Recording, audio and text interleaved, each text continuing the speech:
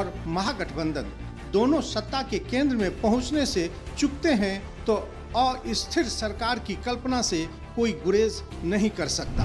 फिर तो बात मध्यावधि चुनाव की होगी, वैसे राजनीति में सब कुछ जायज़ होता है और फिर अंतिम चुनाव वाले मुख्यमंत्री मतगणना के दिन भी कुछ और चौंकाने वाले कदम उठा सकते हैं।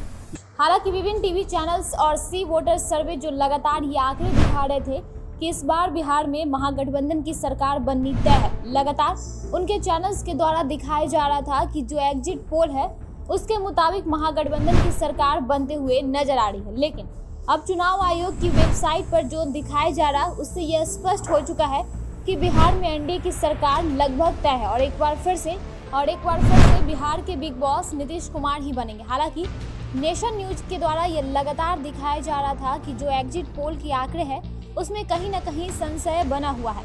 अभी कुछ भी स्पष्ट कहना सही नहीं होगा।